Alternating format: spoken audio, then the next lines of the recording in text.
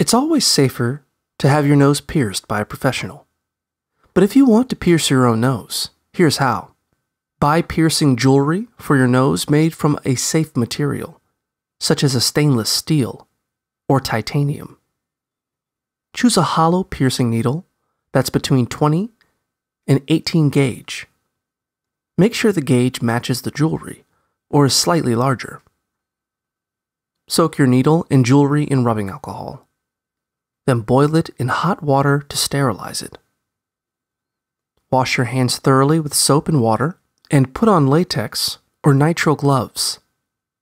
Clean the skin where you'd like the piercing to go with a cotton swab dipped in rubbing alcohol. Then, use a piercing marker to draw a dot on your nose exactly where you want the piercing to go. Pinch the spot with a piercing clamp so you can see the dot through the opening on the clamp. Take a deep breath and slide the needle through the dot in one quick fluid motion. Then, immediately insert your jewelry into the piercing and put the backing on to keep it in place. Clean your piercing twice a day with saline solution or slightly soapy water. And always wash your hands before touching the piercing. Avoid removing the jewelry for at least two to three months so the piercing has time to heal. After that, you can put new jewelry in